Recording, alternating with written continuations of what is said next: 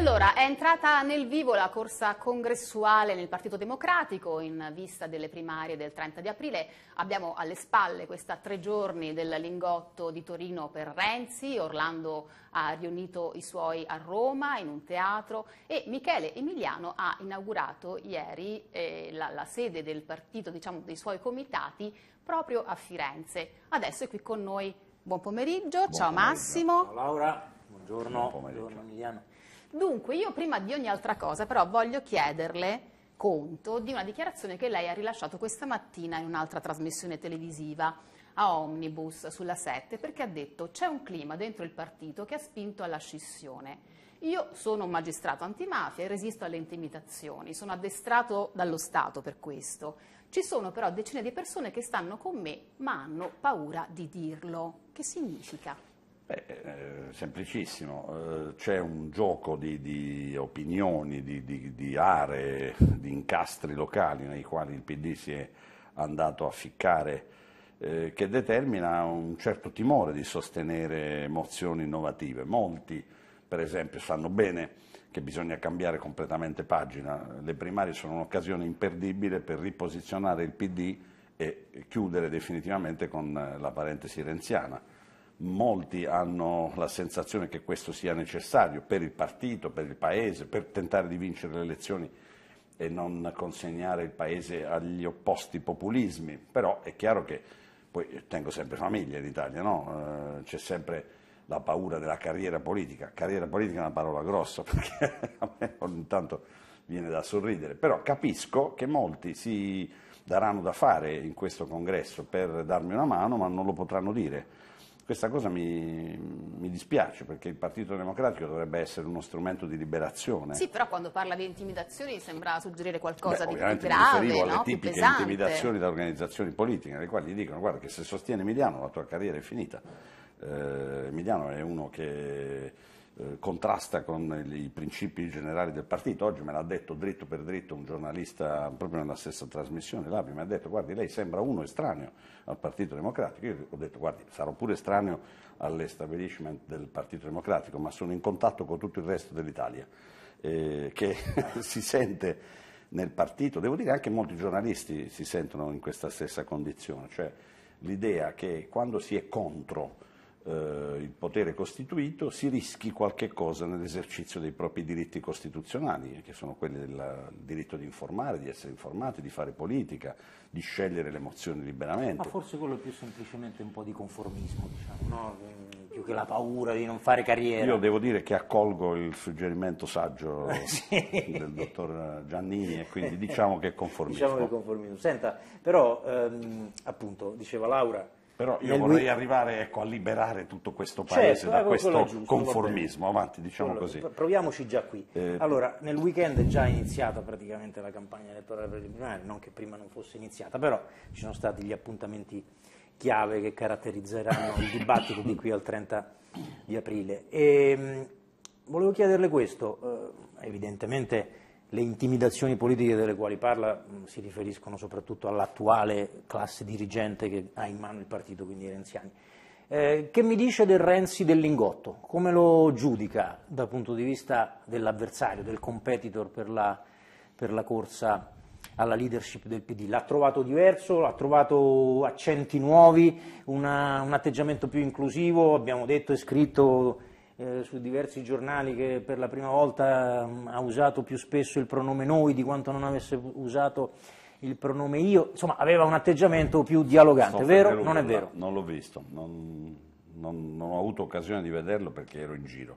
Ho Avrà letto, letto qualcosa? Ho letto un po' di agenzie, mi pare che mi poteva andare peggio, cioè lui poteva avere un impatto maggiore sul paese, non mi pare che il Lingotto abbia avuto alcun impatto. Non è stata una svolta dal punto no. di vista eh, sia dei contenuti sia della strategia? No, è, stato, è un po' come l'utilizzo dei capilista da parte di Renzi. Lui ha utilizzato la convention come utilizza i capilista, ha compattato in modo da tenerli tutti con le mani sul tavolo, tutti quelli che dovrebbero sostenerlo, per essere sicuro del loro sostegno. Dopodiché è una pratica vecchia, ricorda la famosa riunione di De Luca con tutti gli amministratori, sì, dice mi raccomando, eh, dobbiamo votare tutti eh, eh, dobbiamo votare tutti sì. Dobbiamo votare tutti sì. Ecco, hanno fatto una bella riunione in cui hanno detto dobbiamo votare tutti per Renzi. Poi dobbiamo vedere se come per il referendum andrà a finire così o diversamente. Senta, ma sbaglio o lui eh, si riferisce a lei quando, a proposito di quelli che ora vogliono riscoprire l'ulivo, ha detto ma in realtà Emiliano è la xylella, non è l'ulivo, era riferito a lei questo, questo giudizio? Non lo so. Non xylella lo so. sappiamo bene che cos'è, sì, io, diciamo a beneficio dei nostri ascoltatori, è un, nostri... un, morbo dell'ulivo che sta distruggendo le piantagioni. È un morbo inguaribile che sta distruggendo piante secolari che per noi sono più che semplici alberi, quindi se qualcuno utilizza con la solita superficialità la xylella per fare delle battute, è, è, ovvio che il dolore che i nostri agricoltori, devo dire tutti i pugliesi e tutte le persone che amano quest'albero, provano è talmente forte che l'idea di fare un paragone tra coloro che hanno impiombato Prodi dalla, per la Presidenza della Repubblica e la malattia, sinceramente mi sembra una cosa fuori luogo. Però di cose fuori luogo ne sono successe tante in questi mille giorni, quindi mi sono limitato a far presente che eh, la Regione Puglia sta combattendo contro la Xylella finalmente, da sola, eh, senza commissariamenti governativi, stiamo facendo centinaia di migliaia di monitoraggi, stiamo eseguendo le direttive dell'Unione Europea che sta molto apprezzando la nostra attività e mi auguro che nessuno, come fu durante il referendum delle Trivelle, dove mi tirarono fuori che la Puglia aveva l'acqua del mare non pulita e che io mi preoccupavo delle trivelle, erano bugie quelle di allora, non vorrei che qualcuno adesso adoperasse questo argomento per Ma è un modo che... per dire forse che lei col PD c'entra poco. No, io in realtà eh, il PD... La cultura politica fondato, del Partito Democratico non è, non è no, io c'entro poco, c'entro poco con questa maggioranza che eh, sinceramente ha il culto del capo, che è una cosa estranea al centro-sinistra. Io ricordo di aver partecipato ai funerali di Enrico Berlinguer qui a Roma tanti anni fa.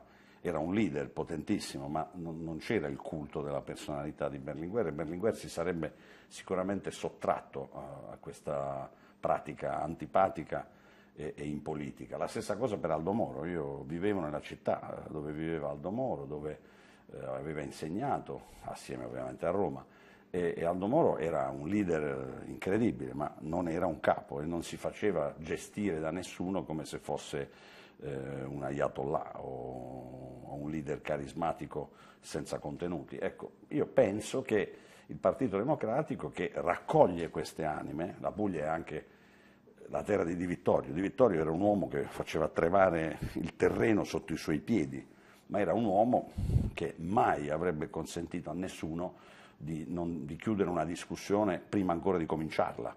Eh, era un uomo che credeva che un partito fosse un intellettuale collettivo che serviva a risolvere problemi degli altri, non quelli del capo o quelli degli amici del capo. Comunque adesso si diceva siamo in campagna per le primarie ed è evidente insomma, che ci sono molti motivi di contrasto, però tanti ritengono anche che lei in queste settimane, in quest'ultimo mese, abbia lanciato dei segnali contraddittori. Per esempio, torniamo a quella famosa assemblea all'hotel Parco dei Principi. Lei c'è una domanda di Federico da Roma, ha fatto un intervento in quell'occasione dicendo Renzi tolga anche a me ogni alibi per la scissione è andato via no? da, dal palco andando a dare il 5 a, a Renzi e oggi diventa il suo peggior nemico. Io Perché questi non, non due trovo Emiliano? Veramente, trovo veramente un'interpretazione in, in, pazzesca dei, dei, fatti. Cioè, noi eh, avevamo tre mozioni diverse, Speranza, Rossi e Emiliano. Io ovviamente avevo una mozione eh, completamente diversa da quella di Enrico Rossi, eh, che addirittura aveva diciamo così, intitolato la sua mozione Democrazia Socialista, se non mi ricordo male, e, e non avevo nulla a che fare con eh, ide, credo la sinistra Dem, che era l'area di, di, di Speranza. E eh, avevamo in comune soprattutto il fatto che non ci stavano dando il tempo di fare il congresso. Noi stiamo facendo un congresso con rito abbreviato dove io non riuscirò neanche a girare le province perché la paura di Renzi di perdere questo congresso è talmente forte che eh, ci ha tolto anche il tempo di fare la campagna elettorale. E eh, in quel frangente è chiaro che di fronte a una negazione così evidente dei diritti di partecipazione politica nel partito, avevamo anche ipotizzato di, di, di lanciare ecco, questa ipotesi della scissione come un estremo ultimatum ma nessuno dei tre ha mai fatto poi un processo politico di costruzione di un soggetto politico e di una cioè, piattaforma politica. Lei non ci credeva tanto a questa ipotesi della scissione, nel forse senso, Speranza d'altra Rossi parte sì, mi ricordo perfettamente che eh, nel mio discorso del Teatro Vittoria era chiarissimo che io avevo diciamo così, moltissimi dubbi teorici sulla scissione, anche perché avevano dovuto fare una scissione che poi continuava a sostenere lo stesso governo, rimanendo insieme in molte amministrazioni regionali. Era, Però è vero che ci sono stati due Emiliano, no? l'Emiliano del Teatro Vittoria e l'Emiliano del Parco dei Principi.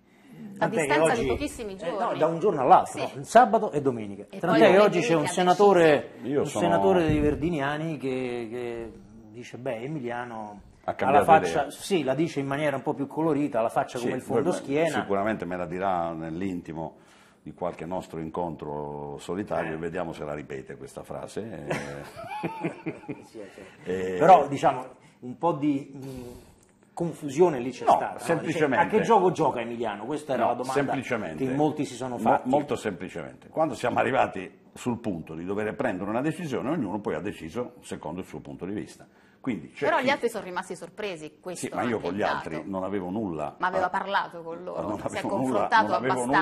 nulla in comune dal punto di vista politico, non avevamo mai dato vita ad una mozione comune, avevamo preso una posizione comune di fronte al fatto che non ci davano il tempo di fare il congresso. Non si fa una scissione sulla base semplicemente E del allora? fatto che siccome si è arrabbiati si strappa tutto e si va via. Adesso eh, rimanere nel partito, peraltro, è stata una, secondo me una dimostrazione di stabilità del carattere e delle opinioni, perché è chi va via eh, quello che cambia, chi rimane eh, si Come ha incarica. detto lei citando Che Guevara, mi pare chi lotta, eh, Ah, a- chi chi lotta lotta può ha già perdere, perso, chi eh, non lotta ha ha già, perso. Ma mh, questo peraltro Che Guevara è il suo modello, diciamo. Diciamo che mh, Che Guevara è stato per milioni di italiani e sicuramente anche per me eh, un mito della mia gioventù e, e- e siccome penso che quel mito di cambiare il mondo e restituire la libertà alle persone valga una vita, è così bello che valga una vita, continuo ad avere nei confronti di questa persona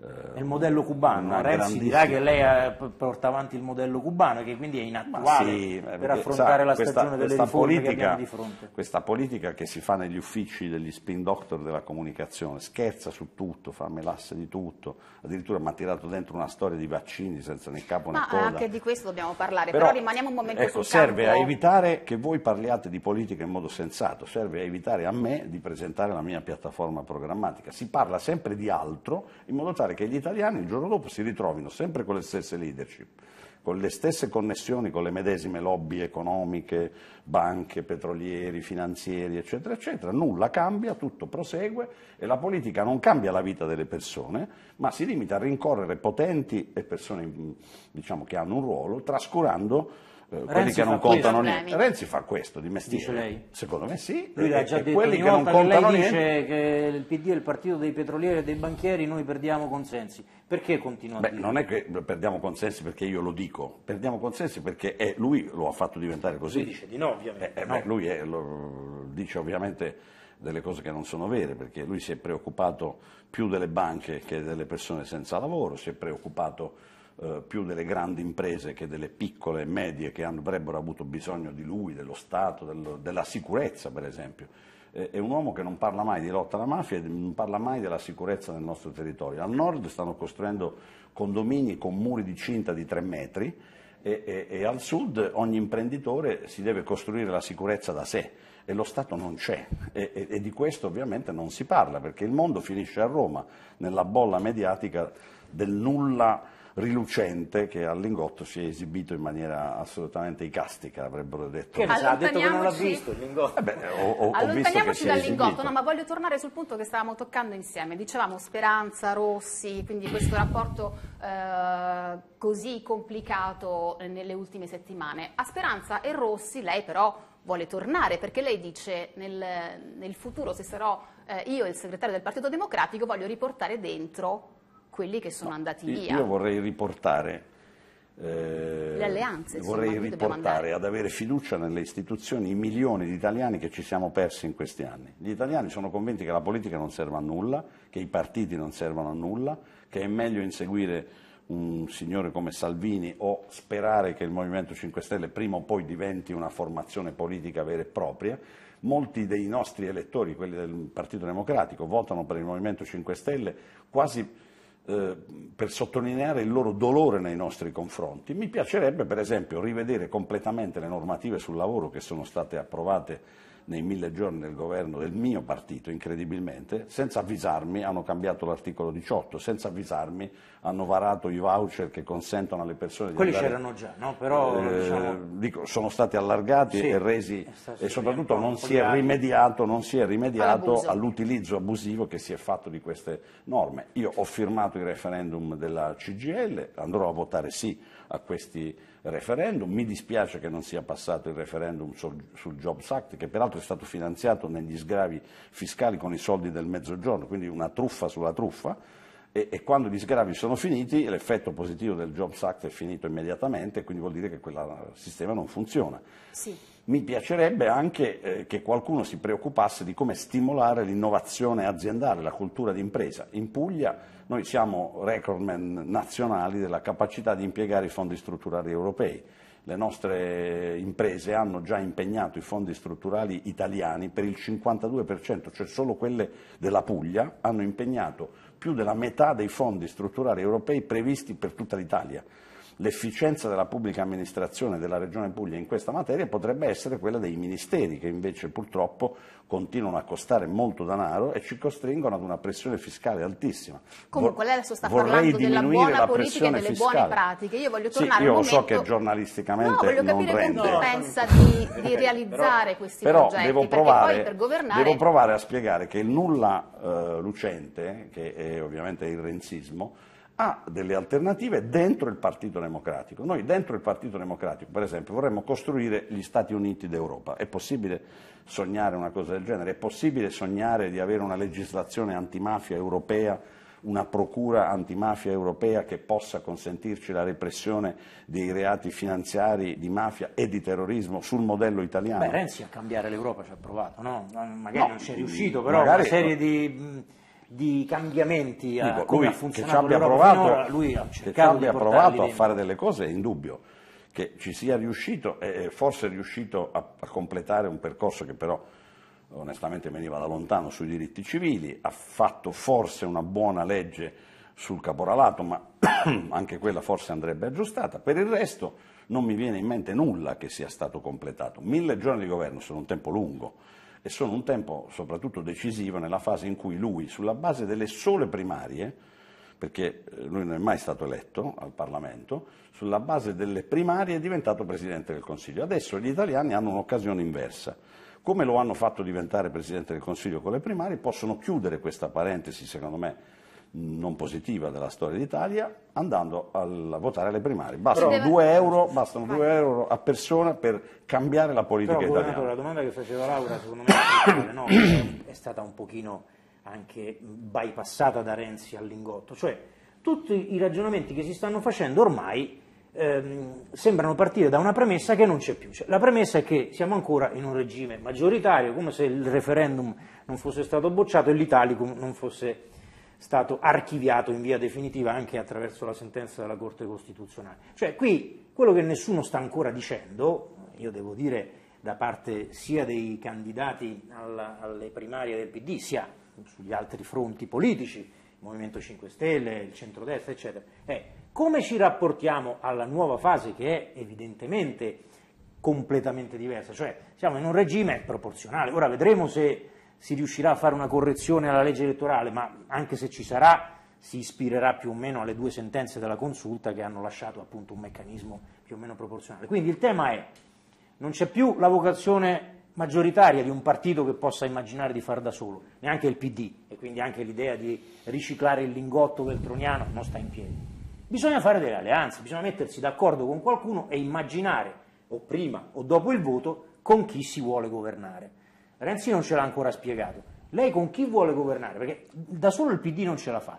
Diceva Laura, si vuole riprendere quel pezzo di PD che se n'è andato e fare un accordo con Pisapia, oppure, come lei recentemente ha detto, ne abbiamo parlato anche in un'altra trasmissione televisiva, lei è pronto anche a fare, eh, a stendere un ponte con i 5 Stelle. Si può governare con i 5 Stelle? Allora, proviamo a, a ricostruire, a ricostruire eh, la questione della legge elettorale. Innanzitutto non c'è scritto da nessuna parte che noi non si possa fare una legge elettorale decente, eh, costituzionale e che consenta alla fine di governare questo Paese. Certo, Bisognerebbe, le condizioni politiche sembrano le condizioni politiche in realtà potrebbero non mancare se eh, in questa fase, come io avevo chiesto, anziché correre subito al congresso col, col rito abbreviato, noi avessimo prima fatto la legge elettorale, è stata oggetto di una risposta specifica che mi è stata data, credo, in assemblea, in cui si diceva che era stupida la mia pretesa di fare prima la legge elettorale e poi il congresso. Eh, lei conferma che se noi facciamo un congresso senza sapere qual è la legge elettorale con la quale andremo, nel congresso di che alleanze parliamo, di non quale legge elettorale, però purtroppo eh, la confusione mentale nella quale il nulla lucente è caduta eh, arriva fino al punto da non capire questi nessi che lei correttamente ha posto. Io sono dell'idea che mh, vada come minimo eh, fatta, visto che quella, la legge elettorale dei sindaci è andata male, Proviamo con la legge elettorale delle, dei presidenti delle regioni, cioè proviamo a, a fare e a costruire un premio di maggioranza di coalizione che almeno consenta ove la coalizione raggiunga il 40%, di avere eh, con certezza una maggioranza. Qual è la coalizione che lei ha in testa? La coalizione è ovviamente di stile ulivista e, e, e io non ero in Parlamento a impiombare, come ho detto prima, Prodi, quindi, quindi sono, lo, posso dire, lo posso dire anche perché governo in Puglia con una coalizione di stampo ulivista che va dal cattolicesimo democratico, quindi addirittura dall'Unione di Centro fino a sinistra italiana, quindi ho in coalizione eh, diciamo così, coloro che si ispirano a Pisapia. Mm, penso che questo sia un metodo di governo valido che in questo Paese ha dato risultati positivi. Certamente nelle amministrazioni dobbiamo ovviamente eh, essere eh, chiari eh, nelle, nelle, alleanze che, che, dobbiamo fare. Poi nei confronti del Movimento 5 Stelle io non ho prevenzioni. Vi ricordo che appena eletto Presidente, per rispettare lo statuto che voleva sì, la parità di genere, lei ci ha provato.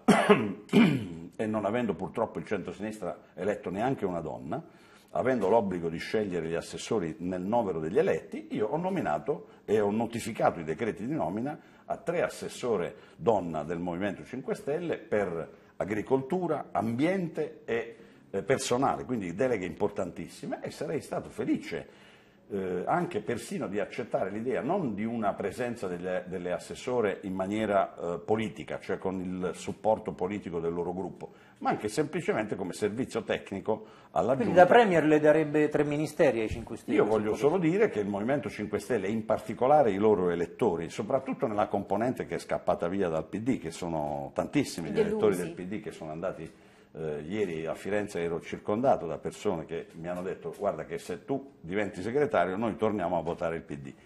Eh, questo, questo, popolo è un popolo che eh, in qualche modo mi assomiglia, è vero. Sono cittadinanza attiva, hanno cominciato a fare politica impegnandosi ma mantenendo il loro lavoro senza fare della politica una professione, come è capitato a me. Io sto combattendo perché mi vogliono a tutti i costi far licenziare dal mio lavoro, perché mi vogliono far diventare un professionista della politica, ma io non sto mettendo soldi da parte. Io vorrei alla fine tornare, se non proprio al lavoro di magistrato, potrebbero anche cambiarla sta norma e, e mandarmi a lavorare da qualche altra parte, ma eh, il Movimento 5 Stelle considera la politica non un mestiere. Non, e, e, e, soprattutto loro hanno una visione basata sulla trasparenza, sull'onestà, sull'abbassamento dei costi. Ah, mi hanno preso in giro perché ho citato, la, citato Cuba, ho citato Cuba dove, eh, dove eh, sostanzialmente è previsto un meccanismo nel quale ai politici non viene pagato uno stipendio vero e proprio, ma si risarciscono eh, le entrate che vengono meno Ma non è populismo questo, infatti no, dicono tutti, no, perché, molti suoi avversari, Emiliano è un populista. Ma non è vero, non è vero perché, lo, lo ripeto ancora una volta, se per esempio, io sono avvocato e posso continuare a fare l'avvocato facendo il sindaco il consigliere comunale, perché mi devono pagare anche uno stipendio?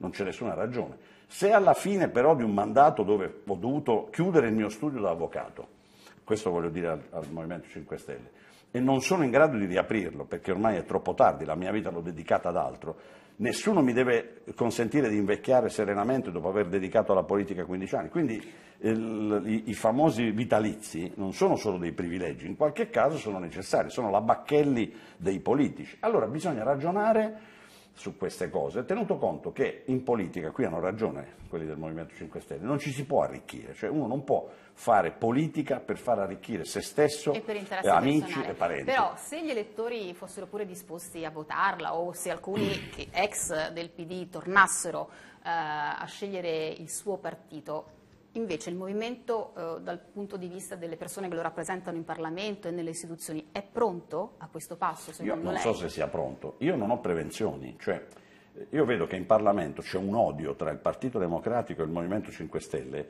un odio antropologico che è un po' quello che ha provocato anche la nostra scissione, cioè la categoria amico-nemico prende il luogo della categoria che dovrebbe essere anche eh, utilizzata verso le opposizioni, nelle quali comunque la squadra è la stessa, è l'Italia. Il mio slogan del, del- del congresso è l'Italia è il nostro partito, ma l'Italia è anche il nostro Parlamento. Non è detto che due forze politiche, l'una l'opposizione dell'altra, debbano per forza guardarsi in cagnesco come se fossero nemici di una partita di calcio fiorentino. Allora, nei confronti del Movimento 5 Stelle, che spesso sbaglia termini, è aggressivo, è violento, non c'è nessuna prevenzione, come probabilmente, ecco, io ho delle prevenzioni ideologiche nell'immaginare un rapporto con la destra, ma non, ma non per questioni di destra? rispetto, per questioni, come facciamo a, a- a- tornare indietro sull'articolo 18 in un governo eh, che eh, abbia dentro la destra? Come faccio a evitare polemiche sui Alfano è migranti? destra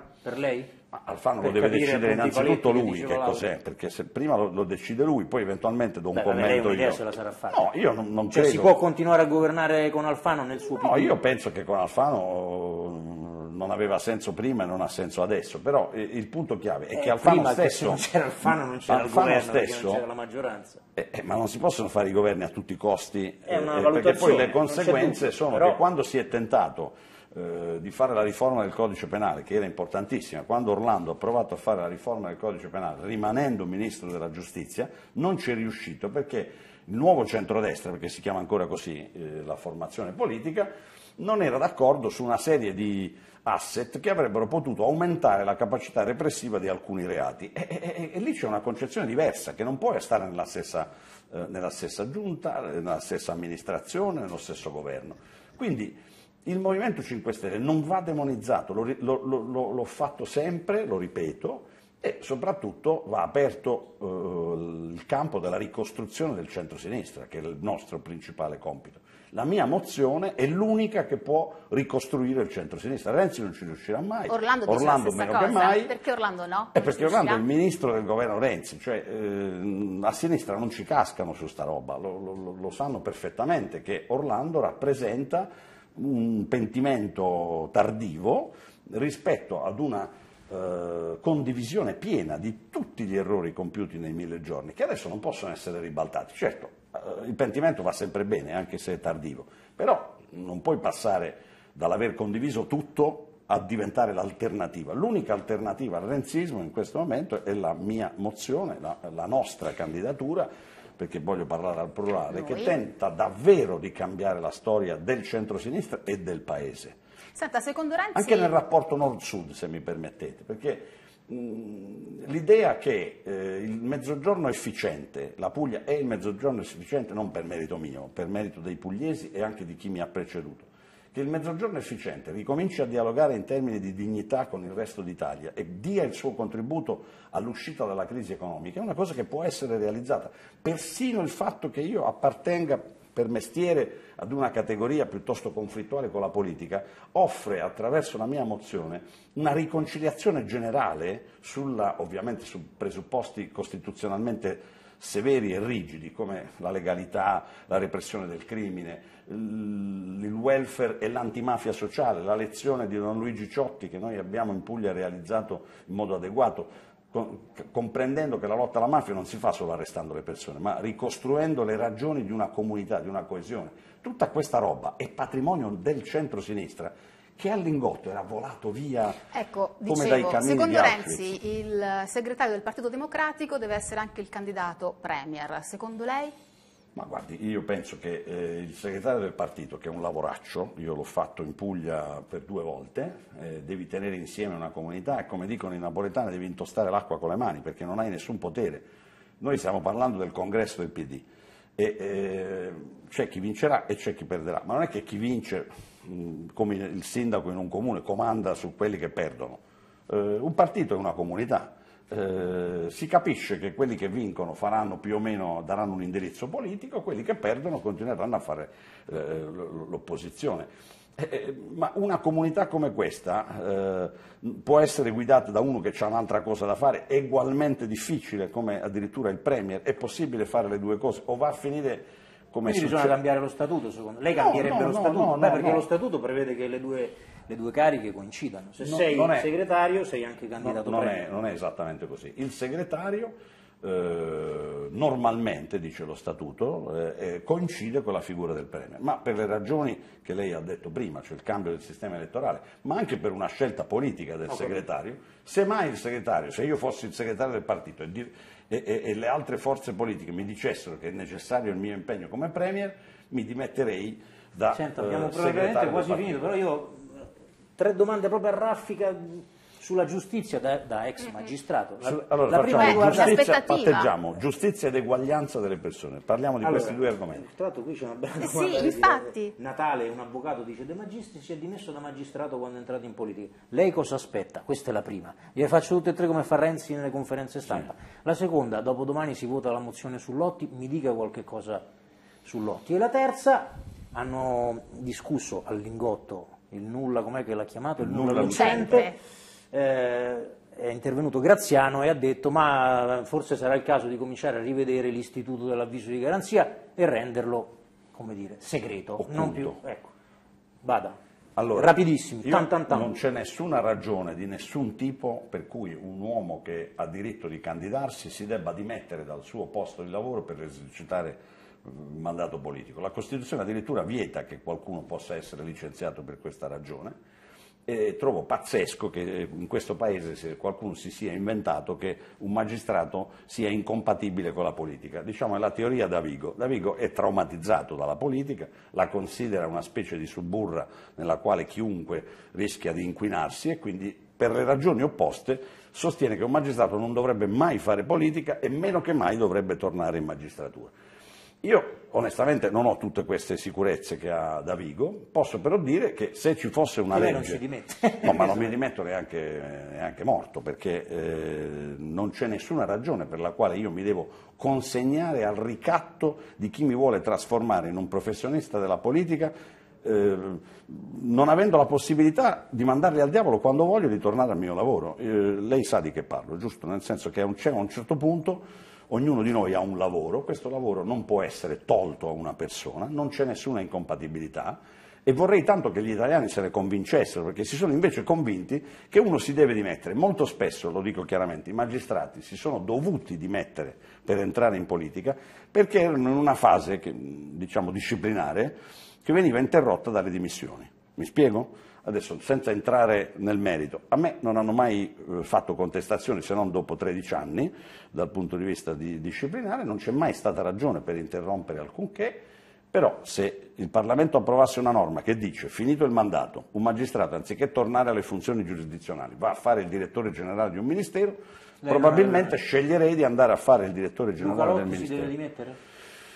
Ognuno deve decidere con la propria coscienza. Se ho capito bene, il suo Presidente del Consiglio gli ha detto che non è necessario che si dimetta, quindi dovrebbe valutare eh, se eh, le sue dimissioni aiutano o indeboliscono il governo. Lei che farebbe? Eh, io mi sarei dimesso ovviamente, nel senso che eh, come probabilmente mi sarei dimesso al posto del comandante generale dell'arma dei carabinieri o del capo, l'amministratore delegato della Consip, lì ci sono delle situazioni in cui o ha mentito l'uno o ha mentito l'altro.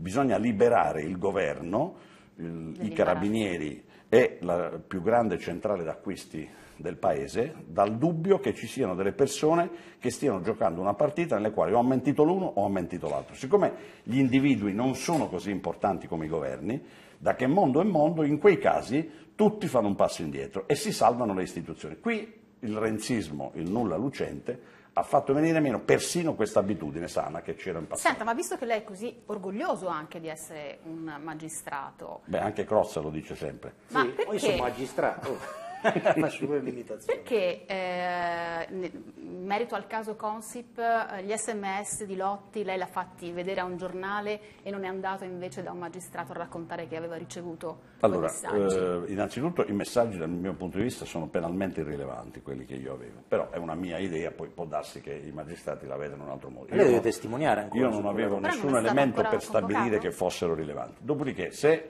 un giornalista autorevole come voi mi avesse chiesto conto della mia presenza addirittura a casa di uno di questi presunti faccendieri, perché lui nelle sue conversazioni mi aveva citato come invitato a casa sua, nel momento in cui, eh, ovviamente ho detto che non sono mai andato a casa di questo signore, e quando mi, eh, detto, ma, mi hanno chiesto, ma lei conosceva questa persona? Dico, certo che la conoscevo. E come la conoscevo? Ho detto perché mi è stata accreditata da Lotti. Dopodiché, ma lei è in grado di provare che gli è stata accreditata da Lotti? Ho risposto a un giornalista che mi pare, sotto l'aspetto del diritto all'informazione, importante tanto quanto un magistrato e forse di più. Dal punto di vista della struttura della Costituzione sicuramente, perché voi siete nella parte dell'articolo 21, nella parte veramente importante. La giustizia sta molto più in là ed è un po' meno importante della libertà di stampa. Questo anche bisognerebbe spiegarlo al Ma lei deve congresso del testimoniare ancora su quella Sì, però non mi hanno più Non convocato. hanno più convocato. Evidentemente hanno ritenuto in questa fase di evitare, vista tutto sommato la re- relativa importanza della mia testimonianza, di evitare di farlo in questo momento particolare. Senta, è la, la proposta Graziano, l'intervento sull'avviso di garanzia, Beh, l'idea di garantismo che è- sta venendo assoluto in campo? È un assoluto delirio, perché partono dal presupposto che l'indagato colpevole abbia interesse a non essere eh, diciamo, eh, descritto sui giornali, però ci sono anche gli indagati innocenti che dai giornali potrebbero ricevere non solo ulteriori accuse, ma anche un motivo per potersi difendere, cioè se io vengo accusato ingiustamente e, e ho bisogno di parlare con un giornalista, poi che facciamo? Il giornalista può parlare solo degli avvisi di garanzia quando ha il permesso del soggetto che li ha ricevuti? Cioè entriamo nel, nel comico. Io penso che ci siano delle norme deontologiche che consentono ai giornalisti di parlare di qualunque cosa, d'altra parte questo giornale ha fatto delle battaglie epiche eh, che io ricordo perfettamente per difendere il diritto dei giornalisti a parlare delle indagini preliminari che fanno parte della vita istituzionale e se una persona non ha fatto nulla, eh, è, è giusto che possa eh, parlare della propria posizione, come d'altra parte tenere segreto un avviso di garanzia mi, mi- mi pare veramente un, un- un privilegio che mh, verrebbe ascritto esclusivamente a quelle personalità pubbliche che ne avrebbero, sarebbero le uniche ad avere un vantaggio vero da questo punto di vista e secondo me nega non solo il diritto all'informazione, ma anche il diritto degli imputati che invece, o degli indagati che invece avrebbero voglia di essere eh, spiegati attraverso il sistema della comunicazione. Insomma, io lascerei il mondo come sta.